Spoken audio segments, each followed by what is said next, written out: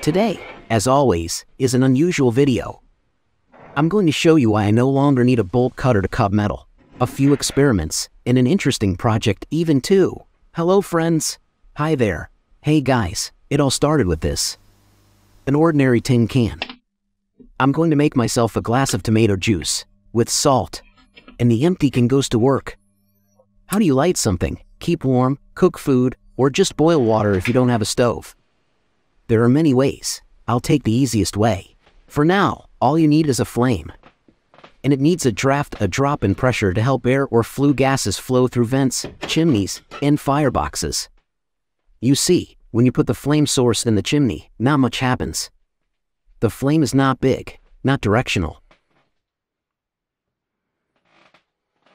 But if you add the right air flow, just a vortex, the efficiency goes up.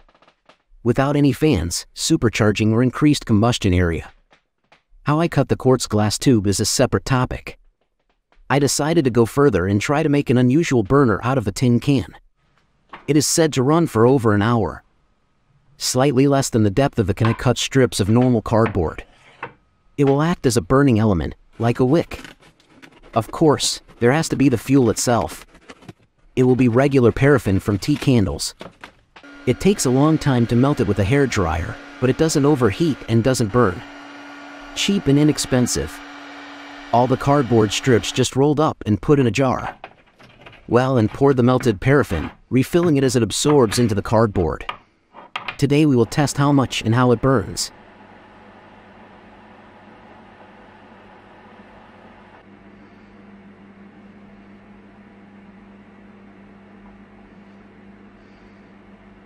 But I didn't stop there. First, I wanted to use a thick walled pipe that had been lying around for a long time. But it had a lot of weight. I decided to make everything out of 1.5 millimeter sheet metal. These are the elements, the truncated cone and the ring. They are welded together.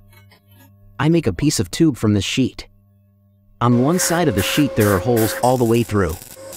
They are for the secondary air and for the combustion and ignition of the pyrolysis gases of the fuel. The secondary air will be parallel to the bottom along this pipe upwards, will be heated and go out into these holes. At the bottom there is a plug with holes for the primary air that allows the fuel to smolder. You can make an adjustable primary air supply, but that came to me after the shooting. I also made a pipe from a larger plate. But the pipe itself is larger in diameter, the holes are at the bottom instead of the top. And the holes themselves are 40% larger than the last ones. After all the elements are assembled and all the seams are grouted, everything is ready.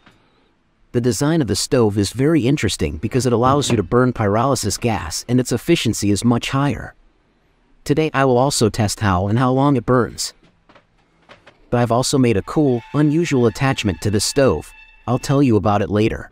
And now, by popular demand, I will give a little attention to a tool that is new to me and that I recently acquired. How nice it would be to be able to cut metal with just one hand and not overheat your finger. Anything is possible. You also need air, lots of air. The vortex compressor is small. It has all the same features as the big ones, but it is much more interesting for a small shop and has everything I need.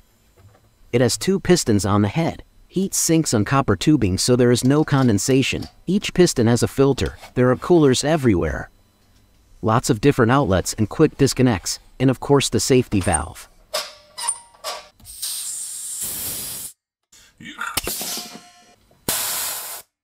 Here's the little plasma torch. It also has a lockable air inlet pressure regulator. I did not experiment with it as it is a Resanta welding machine. It is very easy to control only the current adjustment. Everything is prepared for work very quickly, only one minute and it is ready. Torch here with a pilot ignition of the arc, this is when you do not necessarily touch the metal torch. There are replaceable consumables inside, like the nozzle and the inner electrode. They're not expensive at all and they're available everywhere. I've always wanted to do this.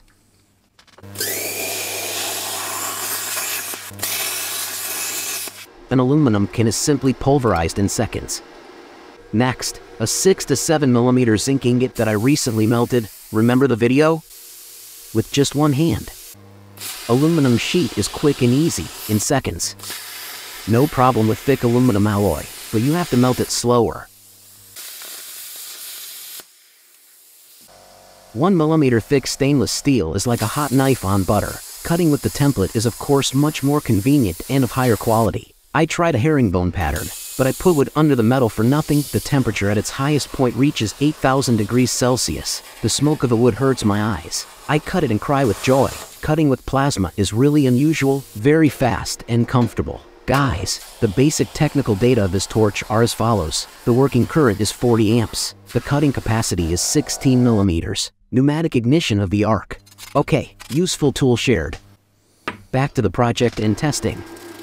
I cut two rings with a diameter of 160 millimeters.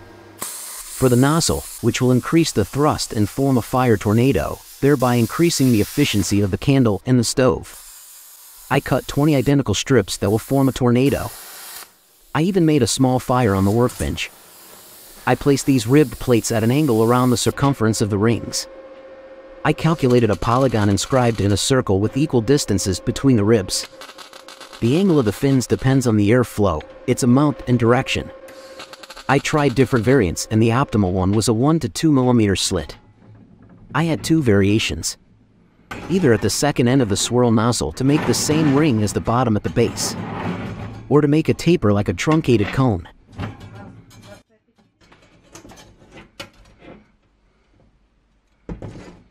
I quickly tried to see how the flame would behave in such a truncated cone. I poured some clean gasoline into a small jar and placed it on the nozzle. It turned out that the shape of the cone was not right and it would be better to install a second ring to keep the ribs parallel. The nozzle turned out to be similar to the shape of the blades of a diametric or tangential fan. Everything is ready for testing, the only thing left is to paint. I waited until evening for better visibility. The fuel level in the stove was 75 to 80%. First, I put the candle in the glass. It works as intended, but the burning time is also interesting. Guys, as always, who liked it, press like, write a comment, subscribe. I think many will benefit if I leave all the links to everything that was in the video, in the description and in the attached top comment. Testing the stove and plug showed great results. At less than full load, the stove ran at constant power for about 1.5 hours. And the power is good, you see, like a big burner on a kitchen stove. The candle worked for about 2 hours, but of course its power is less. I will make a bunch of them just in case. The production cost is literally pennies. And everything is always ready to use. Health and beauty to you and your loved ones. Thanks for watching this video. See you soon on my channel.